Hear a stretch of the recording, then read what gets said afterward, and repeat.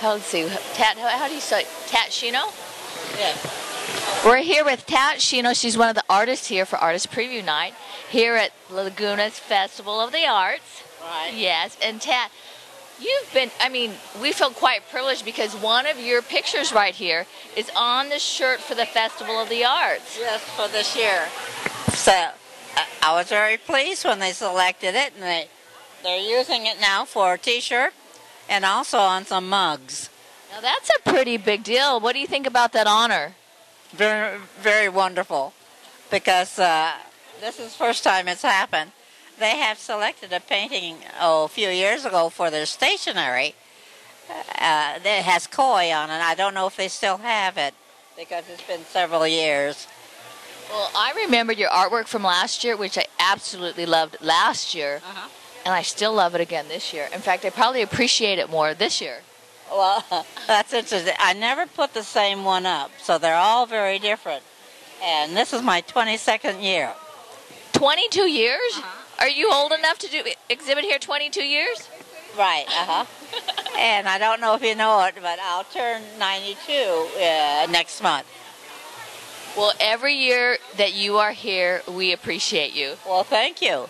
Uh, now, let me know where I can see, uh, hear what you uh, produce.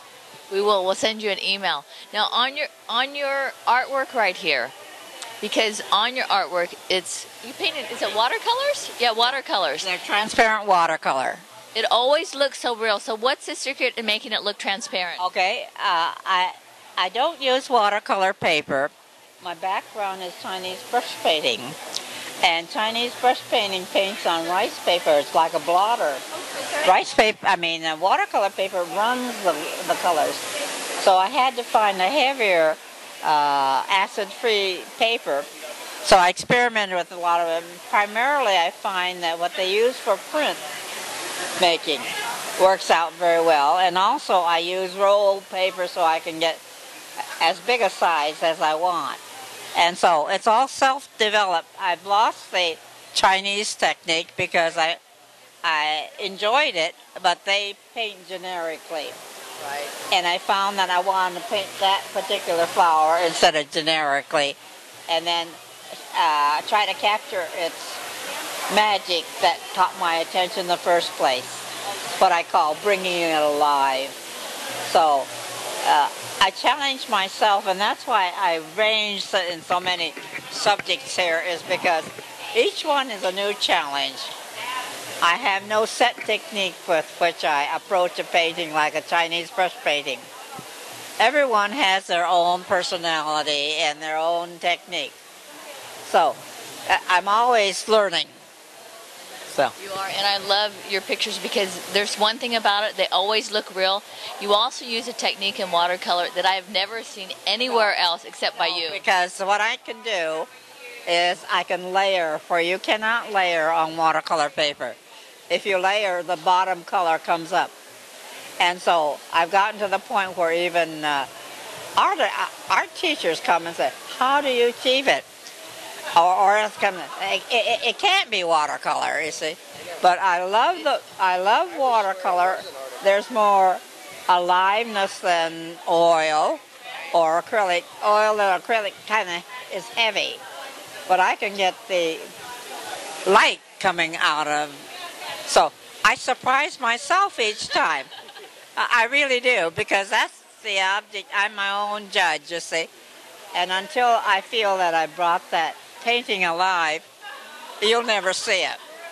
Now, Tat, with your original technique that we don't see anywhere else, are you teaching people? No, because I don't have anything that's saying this is what you do to achieve that. Because everything that I tackle has something different than what I painted the time before.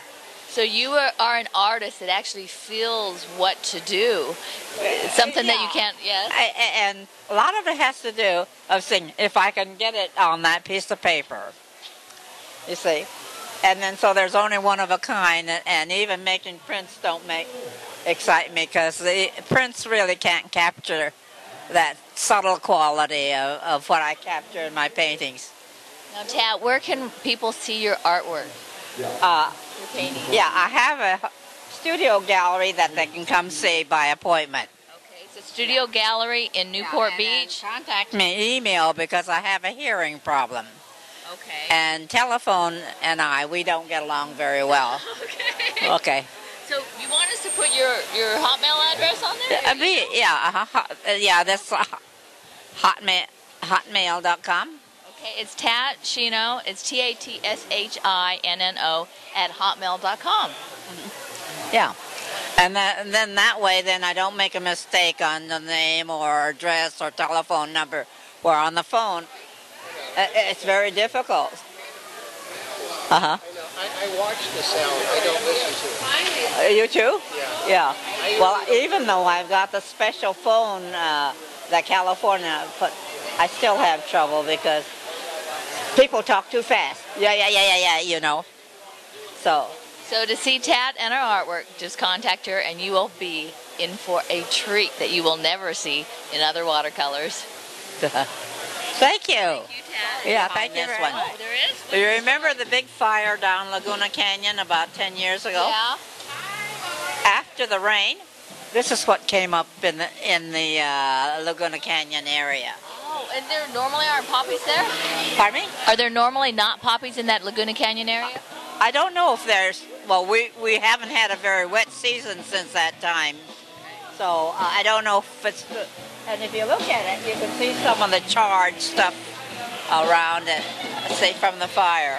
Oh, that's So- unique. So, and uh, how nature recycles, you know, af- after it burns. It's a rebirth like a phoenix.